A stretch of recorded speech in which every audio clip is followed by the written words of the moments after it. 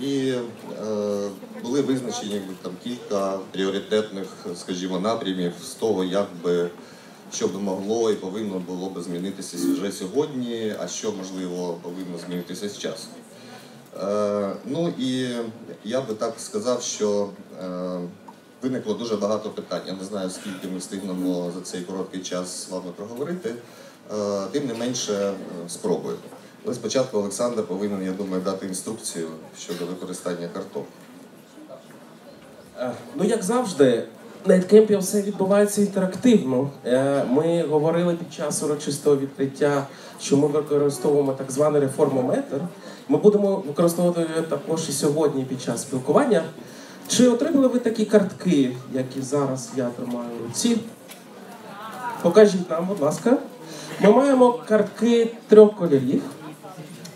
І під час нашого спілкування підемо до залу. А, ставити питання, е, виказувати деякі твердження, і нам важлива ваша думка. Ми маємо розуміти, чи погоджуєтесь ви з цим твердженням. У разі, якщо ви погоджуєтесь, то це який колір? Зелений. Добре. Якщо не погоджуєтесь, червоний. А якщо утрималися чи не знаєте, жовтий. Спробуємо, як це працює. Ну тоді перше питання. Твердження таке. Я зробив чи зробила фото на пам'ять біля бікборду AdCamp Ukraine на вокзалі або на центральній площі міста. Чудово. Дякуємо. Питання друге. Мені подобається програма AdCamp Ukraine 2017. О, навіть ще більше. Чудово, дякую. Ну і третє питання. Я вірю у реформу нової української школи. О, ми маємо тут вже різні думки. Будь ласка, Денисе. Отже, е, наскільки нам стало зрозуміло, що серцем реформи шкільної освіти і нової української школи є компетентнісний підхід. Е, Тобто, як ви бачите е, власне шляхи переорієнтації шкільної освіти на, якби, на засвоєння компетенцій, на включення практики в широкому сенсі цього слова, як це може бути здійснено? Перш за все, дозвольте, я поділюся з вами з таким захопленням, що вас так багато у цій залі, і дехто з вас стоїть. Шановні пані та панове, я вам щиро вдячна за це. За те, що ви маєте таке терпіння і бажання, щоб ми сьогодні поспілкувались про освіту. А тепер про компетентнісний підхід. Що для нас дуже важливо, щоб ми говорили однією термінологією. Тому що, попри те, що про компетентності вже давно говорять в Україні, кожен про них думає щось своє. Тому, якщо ви не заперечуєте, я все-таки скажу, що ми маємо на увазі, коли говоримо про компетентності. Зараз ми орієнтуємося в основному на на- надання певної суми знань і трошки на вміння. Компетентності відрізняються тим, що це не тільки знання і не стільки знання. Тобто дітям потрібне ядро знань, з яким треба працювати, для того, щоб вони вміли потім шукати потрібні їм знання. Тому що е, знання зараз примножуються драматично швидко. І школа перестала бути єдиним місцем, куди ходять за знаннями. Є інформаційні технології, є дуже багато ресурсів. Отже, компетентності це знання, але ще вміння їх застосовувати в практичному житті для вирішення власних проблем і професійних і цінності ставлення. Оце третій компонент. Тому що виходить? Що зараз в школі приходить вчитель. Я говорю про пересічну школу, не про видатні школи і не про видатних вчителів, які тут присутні. Але мене зараз цікавить пересічна українська дитина, тому що це, ця нова освіта має бути доступною для кожної української дитини. В пересічній сьогоднішній українській школі вчитель приходить і транслює знання. Він переказує знання і дуже часто застарілі знання з підручника. Дитина повинна ці знання відтворити. Вибачте, як сказав один класик, ремигнути на екзамені і забути. Це нічого не дає для сучасного життя в цьому бурхливому світі. І ось ми зараз терпимо кризу знаннєвої школи. Дітям потрібні м'які навички. От е, відбулося е, на останньому всесвітньому економічному форумі. Показали, що будуть очікувати роботодавці в 2020 році від своїх е, е, працівників. Що цікаво, вони в першу чергу говорили про м'які навички, тобто вміння спілкуватися в команді, критично мислити, розв'язувати комплексні складні проблеми, бути, е, володіти емпатією, вміти порозумітися. Тобто, це те, чому ми сьогодні в школі практично не вчимо. І е, я думаю, що тут така аудиторія, е, яка готова і читала концепцію нової української школи. Знаєте, там є ці 10 компетентностей. Є дві колонки по 5.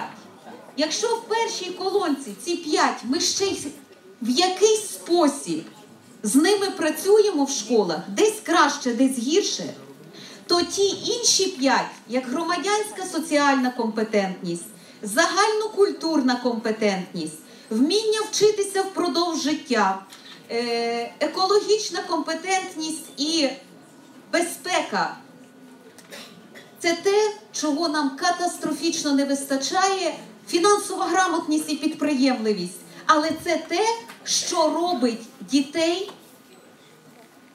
такими, що стануть щасливими, відповідальними громадянами, які самореалізувалися. І це наша велика мета в цій школі. Тобто, ми сказали, що таке компетентності. А тепер не можна говорити про компетентності, треба по-іншому навчати. Це означає, що вже не підходить прийти і переказати просто зміст і відтворити. А ви повинні досліджувати проблему в групі, щоб навчитися спілкуватися. Ви повинні говорити з дітьми про їхні взаємні стосунки, як відчувати іншу людину і е, шанувати її гідність і власну гідність. Це потребує, шановні колеги, педагоги, значно більше часу. От чому ми виходимо на цю трирічну старшу профільну школу? Тому що такі методики викладання потребують більшої тривалості часу. А ще я переконана, що нам треба дітям старшого віку нарешті дати більше вибору і часу готуватися до наступного етапу навчання. Тому що я вважаю, що це абсолютний абсурд, коли сьогодні близько 60, точно 60% дітей в розрізі країни намагаються і змушені отримати репетиторські послуги, щоб іти складати зовнішнє незалежне оцінювання. Це означає, що в нас щось не так зі змістом зовнішнього незалежного оцінювання і щось зовсім не так з тим, як нас влаштована старша профільна школа. Добре, я Окей. поки Давайте ми, давайте ми тоді спитаємо у присутніх е, в рамках такого якби карткового нашого опитування. Скажіть, будь ласка, е, ваша конкретна школа або ваш конкретний клас готові до якби, прийняття впровадження концепції компетентнісної освіти в такому сенсі, як її описано в е, концепції нової школи, і як зараз Лілія Михайлівна пояснила нам. Дуже вам дякую. Дуже дякую. Зрозуміло. Тобто робота, робота буде велика. Е, таке, якби, можливо, трошки якби, е, коротше і точніше питання в цьому, якби, в цьому контексті. Тобто, наскільки е, або як передбачається все-таки запровадити сучасні мультимедіа, інформаційні засоби, методики навчання в школі? Чи є такі якісь в цьому сенсі плани? Тому що ну, якби, така ситуація, що діти з гаджетами, інтернетом спілкуються якби, 12 годин на добу, а потім в школі цього абсолютно немає, і це якось якась буде якась тут е, якесь рішення, може бути знайдене чи ні. Це і перша частина е, проблеми, що вони мають гаджети вдома, а в школі нема. А є друга частина проблеми це велика частина дітей, які не мають гаджетів ні вдома, ні в школі. І потім вони виходять на той сам ринок праці, і вони теж апріорі є в нерівних умовах. Тому так чи інакше е, ці технології інформаційні ми мусимо приносити в школу. Е, Тут є е, кілька моментів, і я би знаєте. При всьому нашому безгрошів'ї, все-таки через фінансову децентралізацію, все, що ми зараз робимо в бюджеті, ми почали інформатизацію. Дивіться, цього року, е, вірніше, наприкінці 16 року, 23 тисячі 23 тисячі комп'ютерів, китайських комп'ютерів, які оснащені програмним забезпеченням Microsoft, яке добре адаптоване для навчального процесу. Вони поставлені в школи, поставлені в опорні школи, тобто в тих територіях, де дійсно немає в дітей доступу до е, інформаційних технологій. Але це не є вирішенням проблеми, тому що ми дивимося, скільки з цих комп'ютерів, бо є така можливість програмним забезпеченням Microsoft, можна побачити, скільки з них підключено до інтернету. Відгадайте, скільки підключено до інтернету. Ну давайте, хто думає, що менше ніж 20%, підніміть зелену карту. Менше, ніж 20? Ну добре, ви вже дуже такі, знаєте, песимістичні. Орієнтовно 25% було підключено. Але ж, але ж підключення до інтернету це теж ще не, не означає, що проблема вирішена, тому що потрібно мати чим начинити. І наша ідея, ви бачили це в концепції, яка теж складна, і ми шукаємо партнерів для цього зробити е, е, відкритий онлайн ресурс з новими навчальними матеріалами, методиками, якими ми можемо дотягнутися до цих 450 тисяч вчителів. І при цьому там запланували зробити конструктор уроку, коли вчитель може для певної вікової категорії, за певним предметом, за певними компетентностями вибирати навчальні матеріали, мультимедійні презентації, відеоматеріали.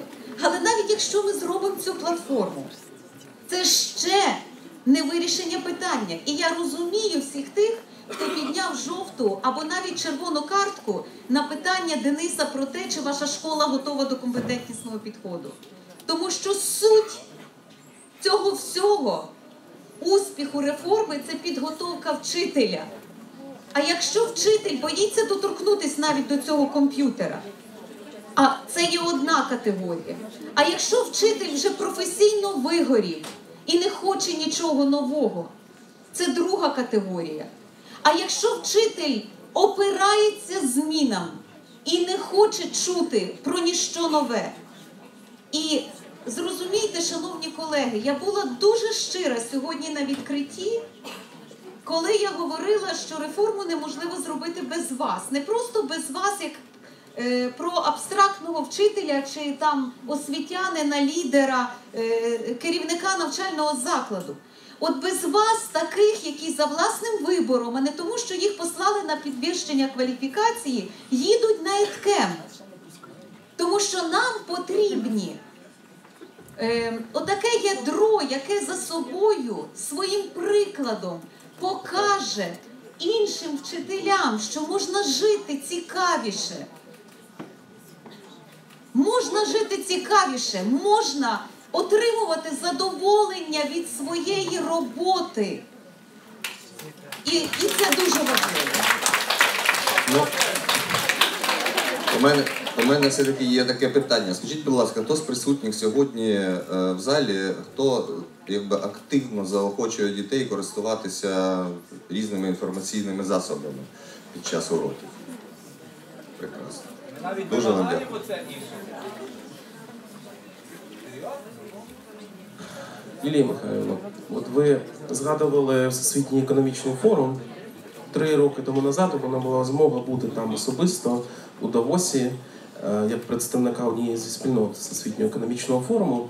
І там я почув дуже таку гарну фразу англійською, звучить це так: е, Golden Triangle, золотий трикутник. Давайте уявимо собі, що ми маємо трикутник, е, у вершинах якого є учні, у іншій вершині є учителі, а у іншій батьки. І це як така візуалізація партнерства, яке має бути у освіті. Як нам побудувати такі партнерські стосунки, які дійсно будуть працювати в новій українській школі? Ви знаєте, що це є один з основних компонентів е, нової школи, оця педагогіка партнерства. Але це велике мистецтво. Тому що значно простіше, хоч менше результативно, можна прийти і директивним способом, авторитарною педагогікою примусити дітей сидіти тихо на уроці. Тільки результату ми не отримаємо. І е, знаннєва школа терпить кризу. І через те, що є оцей підхід знаннєвий, лише трансляції і репродукції знань, але і через авторитарну педагогіку, яка є далі нас традиційною для пересічної школи. І тут партнерства жодного немає. А щодо батьків, батьки вже давно перестали сподіватись на школу як на місце педагогічної консультації. І це є величезна проблема, тому що для батьків вчитель мав би бути партнером, який допомагає у складних ситуаціях з дитиною. Коли втомлений батько, який заробляє гроші, приходить на батьківські збори, і при всіх на батьківських зборах розказують про те, що ви щось робіть своїм сином, він не вчиться, прогулює і так далі. Це називається педагогічною консультацією. Тому, е, шановні колеги, нам треба запропонувати модель, а також покращити саме підвищення кваліфікації вчителів і навчання вчителів, як працювати з батьками. Тому що коли ми розглядаємо батьків тільки як ресурс, який допоможе нам облагородити ситуацію в нашій школі, тому що е, ми все ще мусимо звертатися до батьків, це цілком неправильно. Вони втрачають тоді довіру до школи. Я думаю, що найголовніше в педагогіці партнерства вибудувати довіру. Довіру між вчителем і учнем, коли учень довіряє своєму вчителеві. Розуміє, що вчитель його не зрадить, що вчитель завжди його підтримає, і вчитель є другом, старшим другом, до якого треба ставитися з повагою, але другом. Нам треба вибудовувати довіру між батьками і вчителями. Нам треба вибудовувати довіру суспільства до вчителя.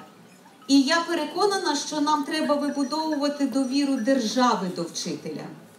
І зараз в цій концепції ми спробували показати, що ми довіряємо вчителям, і ви будете здивовані, скільки ми е, запропонуємо свободи вчителям в початковій школі нової української школи. На жаль, я можу прогнозувати, що не всі вчителі будуть готові до цієї педагогічної свободи. Ми випишемо, ми випишемо стандарти тільки в результатах навчання. І скажемо вам, досягайте ці результати так, як ви хочете, як ви прагнете. Ми дамо свободу готувати власні навчальні матеріали. При цьому будуть модельні програми, будуть поки що підручники, коли ми не можемо застосувати інформаційні технології для всіх. І можна буде скористуватися стандартним пакетом. Наш виклик зробити так, щоб вчитель був готовий до цієї педагогічної свободи. Довіра. От, ну, відповідь на ваше запитання вибудовувати довіру. Чи готові ви особисто до такої свободи? Якщо готові, зелена карта. А тепер інше питання. А ваші колеги і колежанки у навчальному закладі, чи готові вони до такої свободи?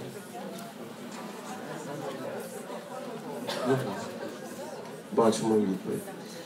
І ще одне, якщо дозволите, щодо батьківства. Е, Партнерські стосунки з батьками. У моєму начальному закладі гарно вибудовані такі партнерські стосунки. Є вони? Ефективно діючі. Добре, це у закладі. А у вас особисто, у вас стосунки з батьками учнівства? Не респондентська група. Е, Дякую. Е, Наступне питання, пані Лілія, про те, що я особисто бачив, ну, зокрема у Фінляндії та у інших країнах, коли школа стає таким хабом, містом притяжіння життя локальної спільноти. І вона перебирає на себе роль, і, зокрема, щодо того, щоб побудувати довіру у суспільстві. Чи можемо ми досягти цього у новій українській школі? І що ми маємо змінити для того, щоб школа взяла на себе навіть більш амбітну роль, чим бути лише містом, де отримує знання, місцем, де отримуються знання? По ідеї, в ідеальному світі і в ідеальних моделях систем освіти школа це є спільнота, яка весь час навчається і тому притягує, є джерелом всього нового і притягує до себе локальну спільноту. І це відбувається як на фізичному рівні, коли приміщення школи є магнітом в другу половину дня, де приходять, де спілкуються, і, зокрема, саме в сільських громадах так школа може стати таким культурно-освітнім центром. І ми зараз говоримо, оскільки є дуже багато диску, дискусій і проблем з тим, що понижується ступінь школи, так? вивільняється приміщення, і школа фізично може бути переобладнана в такий культурно-освітній центр, який має медіабібліотеку, в якому є доступ до інтернету, і в якому відбувається багато подій. Але школа ще має покликання ідеологічно бути такою. Тому що, наприклад, якщо ви зробите знову, е, ми будемо відноситися до системи освіти у Фінляндії, то е, рівень довіри до вчителів у місцевих спільнот неймовірно високий. Саме до вчителів, тобто це ще є авторитети, які можуть вести будь-яку суспільну дискусію. Тому я вважаю, що до цього треба прагнути. Знаєте, завжди кажуть, е, знову ж таки, цей важкий досвід, коли приходиться робити е, реорганізацію мережі на сільських територіях заради доступу до якісної освіти дітей старшого віку. Всі кажуть, немає школи, немає села. Але це повинна бути відповідна школа, щоб вона впливала позитивно на життя села. І в нас зараз пропозиція така: по-перше, початкова школа як найближче до місця проживання дитини. Маленьких дітей возити не можна. А от старших дітей возити треба заради якісної освіти. Сьогодні, колеги, послухайте ці цифри: 33% десятикласників. Десятикласників. У нас сьогодні в сільських територіях навчається в класах, де менше 10 учнів. Це означає, що це маленькі школи, в яких один вчитель викладає водночас фізкультуру, англійську мову, фізику і ще щось. Ці діти апріорі не можуть конкурувати з іншими тими дітьми, які навчаються у школах з нормальною е, кабінетною системою, кваліфікованими вчителями і можливостями освітнього процесу. Тому я за школу як центр громади. І в сільських територіях маленькі школи ми можемо зробити саме такими освітньо-культурними центрами. Вірите у те, що це можливо в Україні? Добре. Ще перед тим, як ми поставимо наступне запитання, хочу сказати, що у вас буде змога спитати пані міністерку особисто, і ми у вас буде можливість поставити своє питання. Якщо ви не готові його вголос озвучити, я попрошу нашу програмну координаторку приймати їх від руки ці питання для того, щоб ми могли їх поставити. Е, Ну, ви згадали такі кілька важливих моментів. Я навіть не знаю з огляду на обмаль часу, на якому зупинитися. Е, Зупинюсь, е, мабуть, на тестуванні. Тому що є багато є ще питань, але це мені здається одним з найважливіших. Як ви бачите якби, зміну сутності того тестування, яке зараз є, відповідності до концепції нової школи? Тобто, очевидно, що воно повинно якось змінитися, але як саме? Так, воно мусить змінитися, тому що ситуація є така: ми вчимо в школі тому, що потім будуть перевіряти. І тому, по чому будуть оцінювати успішність дитини.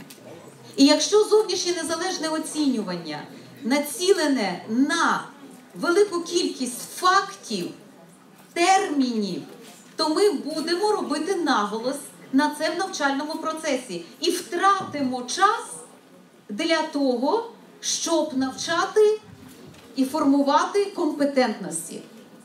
Тому, по-перше, в зовнішньому незалежному оцінюванні вже потрошки появляється краще завдання. По-друге, ми входимо в пізу у 2018 році, і це для нас буде дуже великий урок. Ми побачимо, як наші діти можуть виконувати завдання на компетентності. І будемо розуміти, інколи ну, важливо зрозуміти, де ти є, щоб рухатися далі. І нам треба буде вчитися творити оцінювання і, і інструментарій оцінювання, який здатний перевіряти компетентності. Проблема в тому, що зовнішнє незалежне оцінювання в нас є ще превентивним заходом проти корупції. А завжди, коли вам треба щось дуже чітко порахувати, виставити бали, тоді, е, тоді застосовуються простіші інструментарії для оцінювання, однакові для всіх. І е, я думаю, що принаймні впродовж наступних років, поки ми ще дійдемо до старшої профільної компетентності школи, нам потрошки треба буде вводити і презентувати завдання на компетентності і збільшувати кількість відкритих частин в тестах. Тому що через відкриту частину ви можете якраз цю перевірку здійснювати. Ми зараз. Е, мабуть, я все-таки варто це сказати ще для всіх. Е, Ми зараз співпрацюємо з урядом Фінляндії в проєктуванні проекту фінсько-українського, тому що уряд Фінляндії обрав пріоритетом співпраці з Україною освіту, ознайомившись з нашою е, реформою Нова українська школа. І ми хочемо Е, Зараз ідуть якраз дискусії і проєктування цієї співпраці, спрямувати її на саме підвищення кваліфікації вчителя, відеобібліотеку методів компетентнісного навчання для наших вчителів, і також на те, як орієнтувати оцінювання, оцінювання у компетентнісній школі. Будемо всі вчитися разом. Дякую. Ну і ще у нас є час трошки для останнього запитання. Е, Я вже вибачайте, не звертаюся до аудиторії, тому що воно мені здається важливим. Скажіть, будь ласка, е, як ви бачите власне процес перепідготовки навчання інші. Наприклад, коли діти не сидять за партами, а це для нас класично. А коли вони поділені за групами і працюють над своїми проектами, це є те, що називається зовсім інший classroom management. Зовсім інший спосіб управління навчальним процесом в класі і організації його. Найстрашніше, що в нас в педагогічних університетах цьому теж не навчають. І зараз школи, вчителі практики підуть попереду. І ми ще маємо перелаштувати систему підготовки вчителів у педагогічних університетах. Так сталося в Україні, що суспільство в своєму розвитку випередило школу. Це дуже небезпечна тенденція, тому що школа має бути в авангарді, в авангарді суспільних змін. Ми з вами готуємо зараз дітей для їх професійної кар'єри, яка буде через 20 років тому. Е, Не тому, а вперед, через 20 років, так попереду. Давайте ми з вами зараз згадаємо технології, які були 10 чи 15 років тому. Ну, я таке би не відбувся, я думаю. Тобто вони настільки швидко змінюються. Сьогодні зараз весь світ, провідні освітні системи працюють з 3D-простором для того, щоб моделювати навчальний процес, навчальні матеріали для дітей, щоб вони швидше засвоювали. А ми з вами мріємо про підключення до інтернету. Отже, е, показова історія. Я мушу поділитися з такою. е, аудиторію, як ви своїм розпачем недавно я сиджу в кабінеті в Міністерстві освіти і науки, і в мене має бути зустріч з, з депутатом з парламенту Румунії, який очолює румунську громаду, е, українську громаду в Румунії. Він приходить і каже: пані міністр, ми просимо, українці Румунії просять у вас допомоги. Держава Румунія дає гроші на підручники для національних меншин, як і ми з вами даємо. Але у Румунії до підру... в Румунії вже підручники мають бути тільки електронними.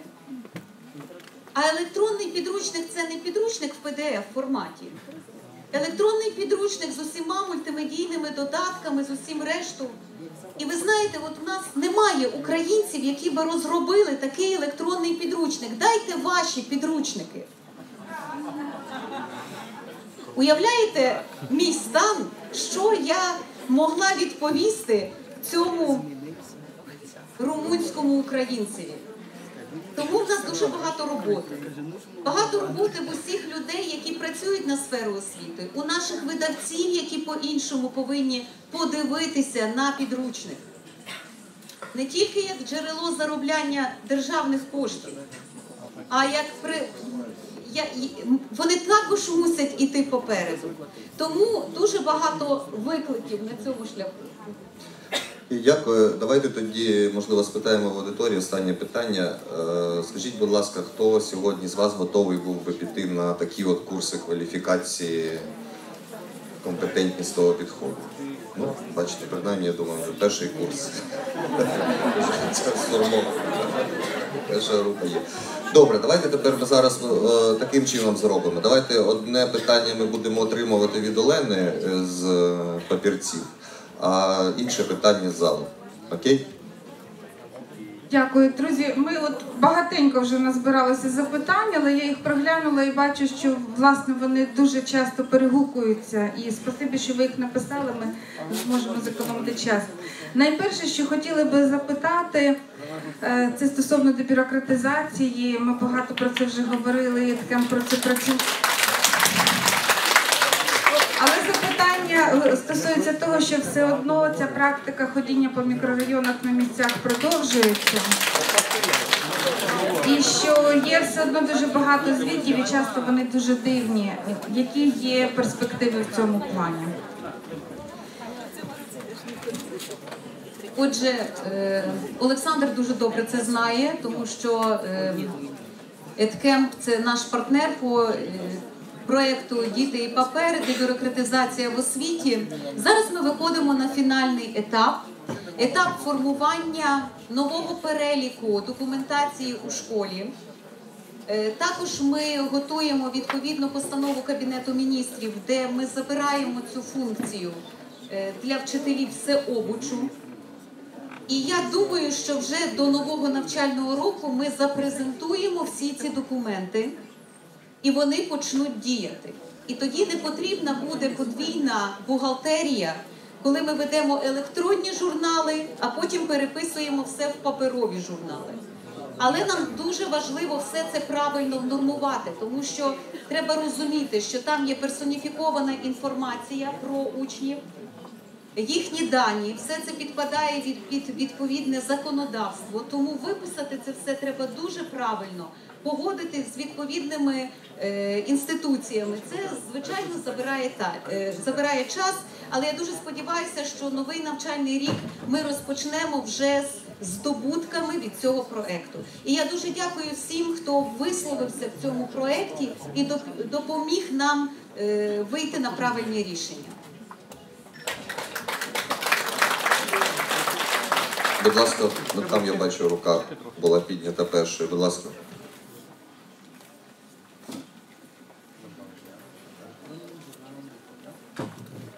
Пані Лілія, добрий день. Остап Стасів, відкритий університет Майдану. Питання наступного чином. Та колонка, про яку ви говорили, друга компетенції, це те, що ви одна з них це критичне мислення, сприйняття світу. Ми в відкритому університеті Майдану сьогодні це все називаємо громадянськими компетенціями, тому що громадянські компетенції це про вміння жити в суспільстві і ефективно взаємодіяти один з одним. Е, Моє питання: чи зможемо ми, наприклад, як відкритий університет Майдану, який сьогодні має платформу Women Online, на якій він зосереджений виключно на громадянських компетенціях, допомогти, а також інтегрувати те, що вже зроблено, те, що вже сплановано. І зараз ми працюємо так само із Кемпом, з освіторією про те, щоб з'явились курси для вчителів щоб от та той продукт, який ви хочете зробити як єдиний, так я так розумію, що для вчителів має бути якась єдина система, яка буде всім зрозуміла, уніфікована.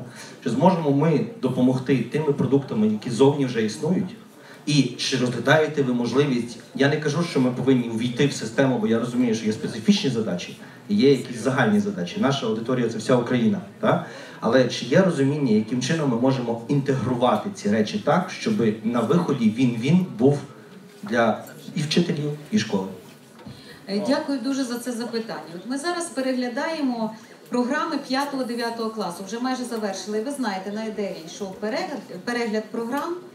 І що ми хочемо? Ми хочемо інтегрувати в програми також навчальні матеріали і теми для формування компетентностей. Хоча б частини з них громадянська між ними як пріоритет відповідальний громадянин.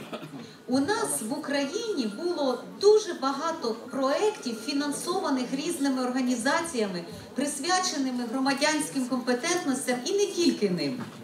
І дуже часто буває так: поки гроші є, відбувається проект.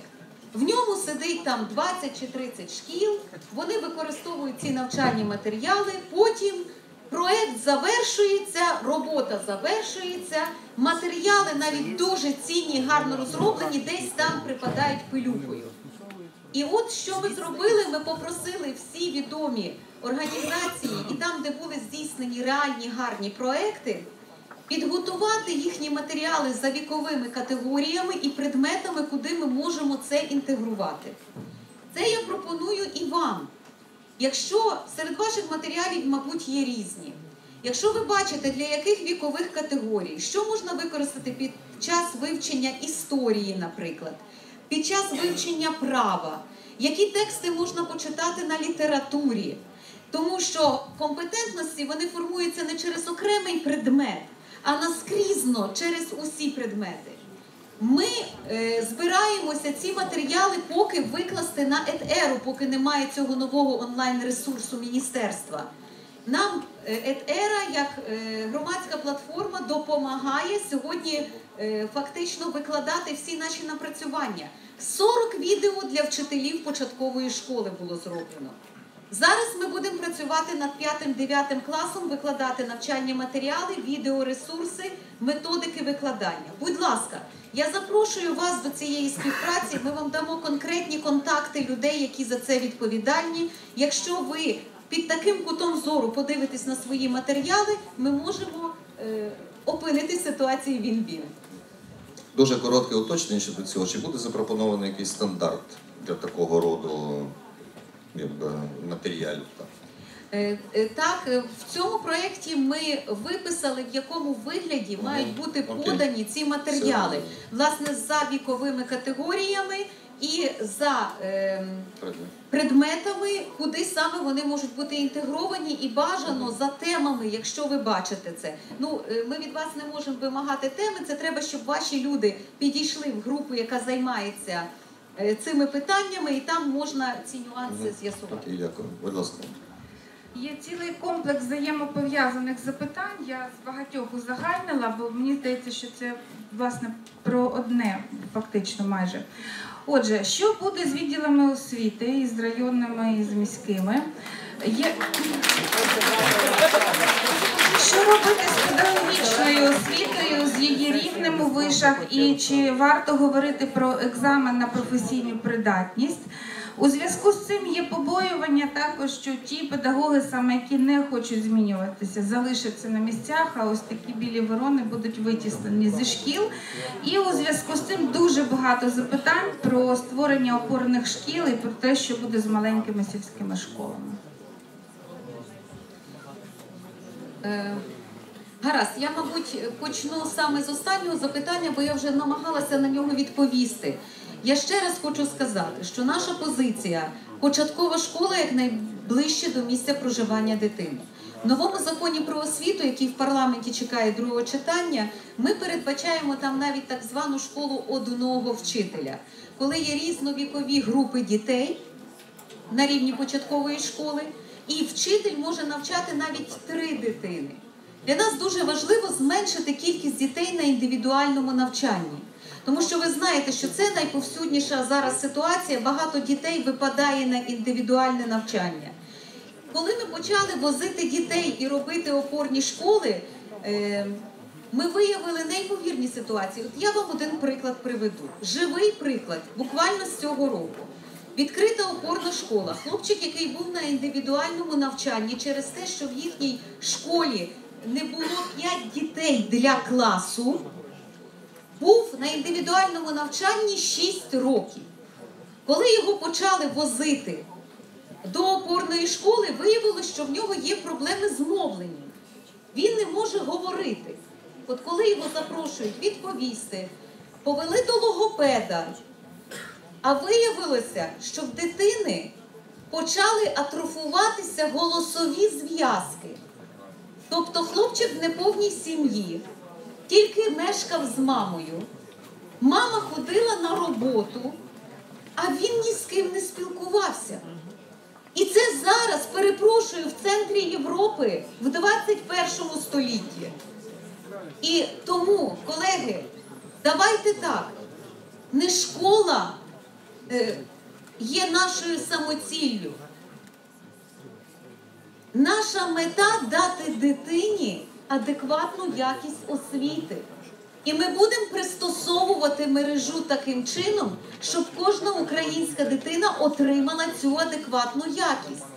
І я розумію, що це найбільше не подобається керівникам навчальних закладів і вчителям, яким замість мати школу біля свого дому доведеться доїжджати до іншого села.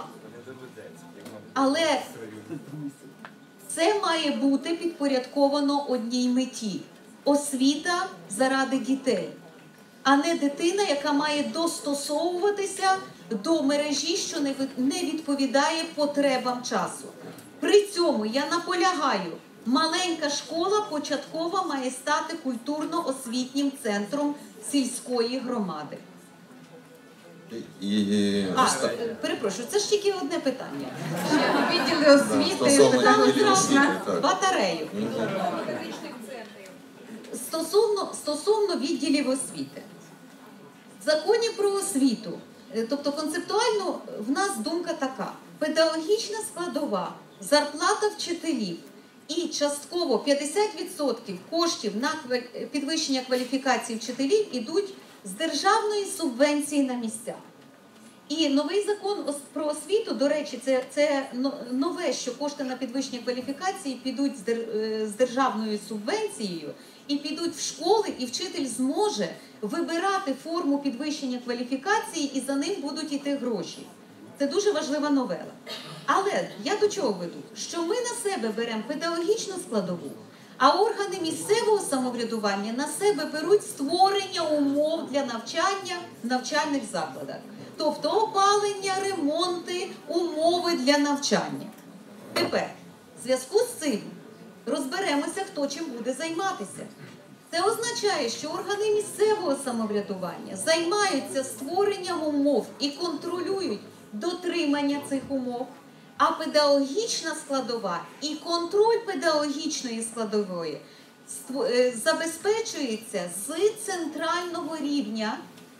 Е, Законом прописаний орган забезпечення якості освіти, який буде мати регіональні представництва на рівні областей. Таким чином, нам важливо зробити вчителя менш залежним від органів влади і цих районних управлінь і місцевих управлінь освіти.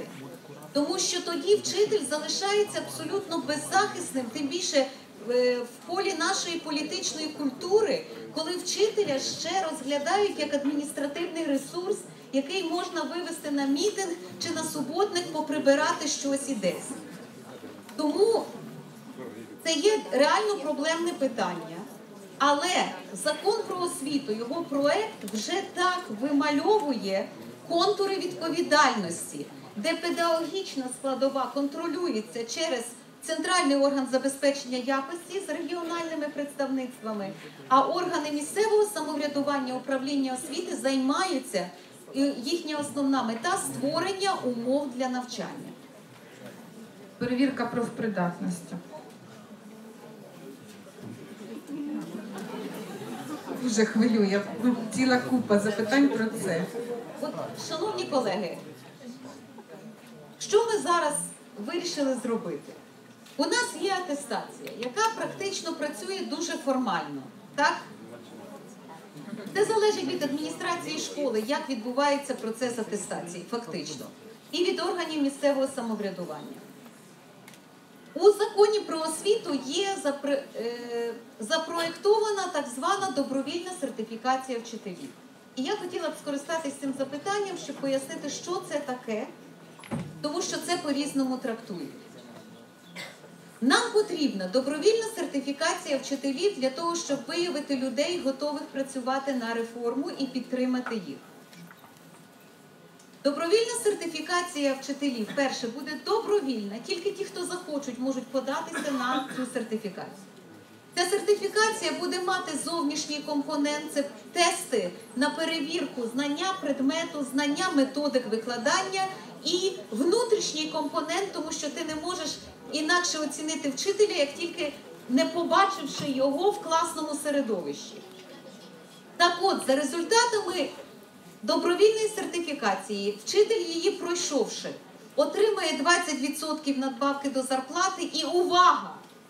Буде мати зобов'язання ділитися своїми методиками, здійснювати методичну роботу з іншими вчителями в своєму колективі. Так ми хочемо виявити агентів реформи і підтримати їх.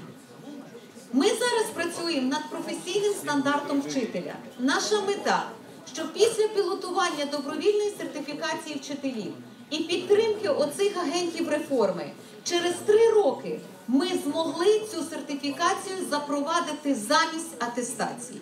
Але це ще не зараз, аж тільки після того, як ця сертифікація буде відпрацьована, буде підтримана вчительством тим, хто пройдуть сертифікацію, тоді ми зможемо нею замістити сьогоднішню атестацію. Окей, колеги, у нас, на жаль, час е, нашої бесіди вичерпався, але е, давайте ми тоді зробимо так. А?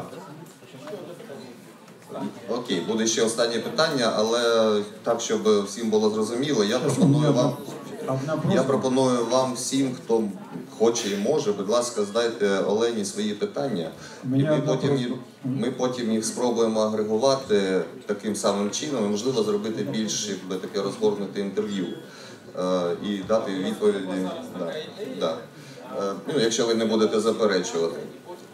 Да. Ну, якщо буде, так би мовити, згода е, пані міністерки. Будь ласка, останнє питання, і ми переходимо. Віктор Громовий, так? Віктор Громовий, будь ласка. За Запитання дуже просте. Як ми чудово знаємо з досвіду багатьох країн світу, реформувати освіту зверху неможливо, реформувати освіту можна лише знизу.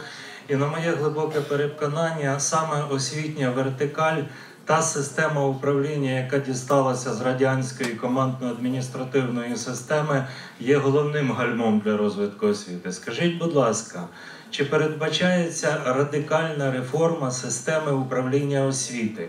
Я маю на увазі під радикальною реформою Міністерство освіти.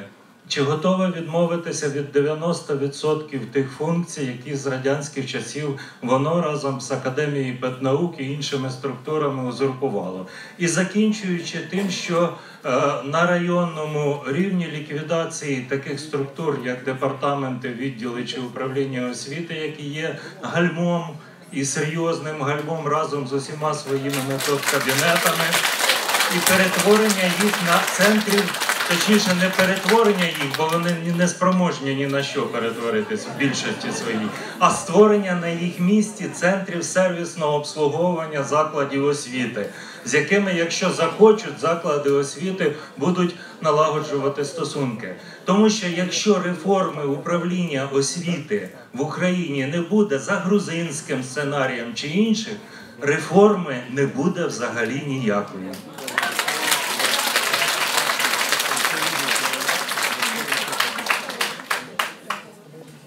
практиці реального життя, практиці реального життя не буває так, щоб ви все зруйнували і на тому збудували нове, а при цьому все одно процеси відбувалися, і ми гарантували дітям безперебійно нормальне навчання в класах, вчителі стабільно отримували заробітну плату, видавалися вчасно підручники, і я можу продовжувати і продовжувати. Тобто це повинен бути поступовий процес. І що я вважаю, треба зробити, і більше того, ми вже це зробили. Бо якщо ви уважно читали проект закону про освіту і навіть цю маленьку книжечку концепцію, ми показуємо там, скільки повноважень ми віддаємо, наприклад, щодо змісту освіти сьогодні на школу і на вчителів. Коли школа зможе формувати свій власний навчальний план, а не обов'язково е, користуватися типовим. А якщо ви хочете власний, ви мусите їхати до Києва його затверджувати. Так само, як і власними навчальними програмами. Важливо, щоб ви вийшли на певний результат навчання. Так само нам треба змінити функціонал, і я про це вже сьогодні говорила. Коли оці фун... що таке сервісний центр? Це власне функції, е, функції, які мають забезпечити умови навчання, не перевірку роботи вчителя, а умови навчання. Ви можете змінити табличку на методичному кабінеті чи на районному управлінні освіти і обізвати його сервісним центром. А вони будуть далі здійснювати свою бюрократичну діяльність. Якщо не будуть змінені процедури, не буде затверджений інший зовсім е, функціонал. І що в нас сьогодні з методичними кабінетами? Якщо методичні кабінети замість надання методичної допомоги, звичайно, ми скасувати їх всіх можемо. Тільки розуміючи, що нам треба буде під час реформи охопити методичною роботою і допомогою, і розповсюдженням навчальних матеріалів, доступом до цієї платформи 450 тисяч учителів, от тоді ми прохопимося. А ми ж ми всю інфраструктуру методичної допомоги скасували. Тому треба думати, як її змінити в людях і функціоналі. Вони не повинні здійснювати перевірки, вони повинні допомагати вчителеві. Тому я ідеологічно погоджуюся, що бюрократичну вертикаль треба скасовувати, але робити це в мудрий спосіб поетапно для того, щоб система могла функціонувати і щоб ми не дискредитували. Тому що наші з вами опоненти тільки чекають, щоб ми з вами провалили е, нормальний освітній процес, як запроваджуючи певні зміни. Тому давайте будемо рухатися мудро і обережно. І що ще одне, найважливіше, бо ви сказали, що реформа не може йти зверху вниз. Я погоджуюся, має бути рух на зустріч. Тому що якщо знизу хочуть реформи і є білі ворони, але їх дусять згори, це теж не, не дає можливість розвиватися реформам. Тому давайте рухатись на зустріч. Дякуємо вам дуже. Я щиро дякую. Подякуємо Аспен інституту і особисто Денису Полтавцю за цю чудову модерацію. Якщо дозволите тільки ще одну думку, я вкотре переконуюся, що великі речі можна робити в першу чергу і тільки з громадянським суспільством. Все, що на моєму віку нам вдалося зробити правильного, починаючи від локальної освітньої політики міста Львова, вже дуже давно з Михайлом Комарницьким, коли про це ще це зараз про це говорять, а тоді це була перша ластівка. Е, Зовнішнє незалежне оцінювання, яке дало справедливий доступ.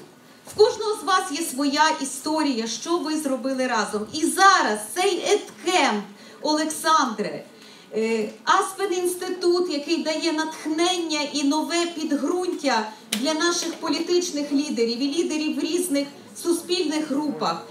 Все це є прояв того, що саме з громадянським суспільством можна робити великі речі. І ми не обійдемося без нього в освітній реформі, бо освітня реформа це реформа на десятиліття. Піде, піду я як міністр. Будуть змінюватися уряди, змінюватися політичні сили. Але що, що незмінне буде, це суспільство. Суспільство, яке прагне для дітей нового майбутнього. І тому кожен з нас тут присутній, всі ми разом спільнотою є та сила, яка не дасть і не дозволить політикам звернути з цієї прямої, правильної, компетентнісної, партнерської, з довірою дороги в майбутнє. Дякую. Дякуємо. Дякуємо Денису. А пані Лілі, ми попросимо ще затриматися, бо ми маємо особистий такий момент. Хто з вас пам'ятає, скільки відбулося за цей навчальний рік регіональних подій у форматі EdCamp? 24 події. Ми хочемо разом із вами відзначити координаторів і координаторів цих подій. Під ваші аплодисменти ми маємо особливі нагороди для цих людей. Ми розглядаємо EdCamp як потужний інструмент розбудови локальних спільнот. Бо саме ви, відповідальне вчительство, творите зміни у своїх громадах. Я попрошу моїх колежанок е, допомогти. Пані Лілія, ви будете вручати особливий знак. Е, можна примірник? Дивіться, який у нас знак. Тут написано Був Іткент. А я возьму на себе дуже гарна функція буде кликати вас на цю сцену. І, будь ласка, затримайтесь усі на сцені. Майя Тутаєва за натхненне проведення регіональної конференції в рамках програми «Кемпу. І давайте вибігати так швидко, як ми хочемо, щоб реформи в освіті відбувалися. Так, мене це. Далі запрошуємо Наталю Понежу і Інну Іванову.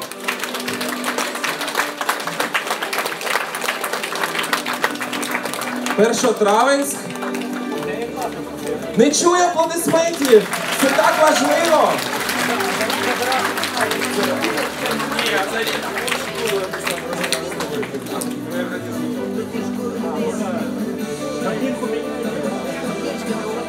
Далі Людмила Остапенко.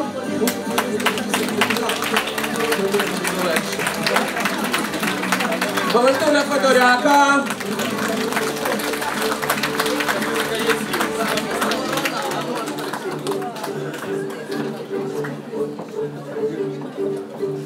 Валентина Федоряка, будь ласка. Вікторія Богданова, будь ласка.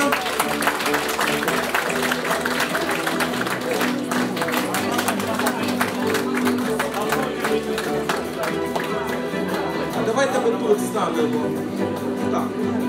Сергій Запісов.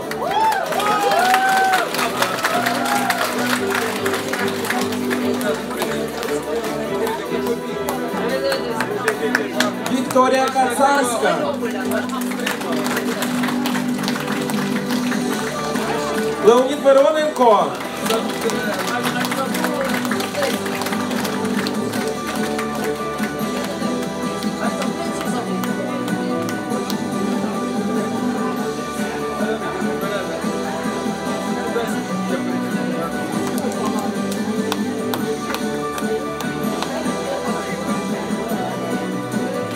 Галина Левко, Євгенія Карлаш, Лариса Грицюк.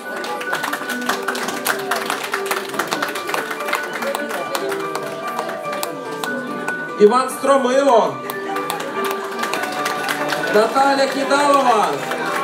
У мене складається враження, що є якийсь загоди, щоб Лілія Михайлівна на потяг не встигла, друзі. Галина Михайленко,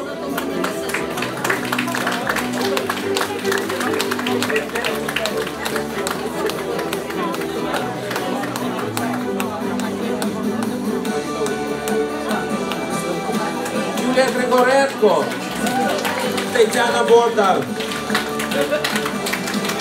Валентина Какадій.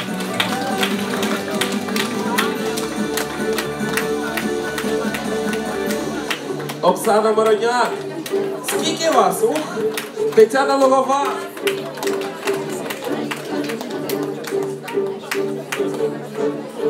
Надія Кравченко.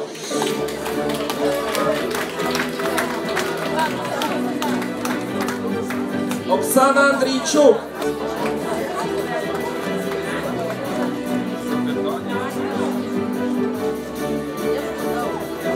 Світлана Стельмах.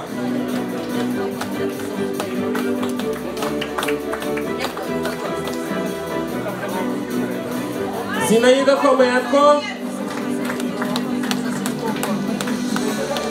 Зінаїда Хоменко.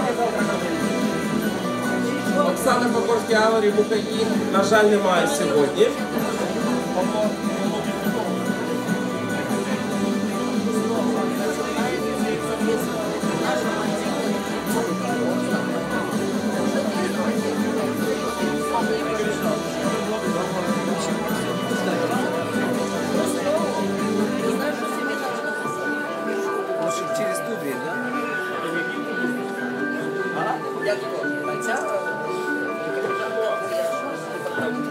Дивіться, яка у нас величезна спільнота. Давайте зробимо фото на пам'ять всі разом.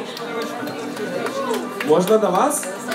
І ваші аплодисменти, друзі. Давайте підтримуємо координатора, координаторів у навчальному році 2016-2017.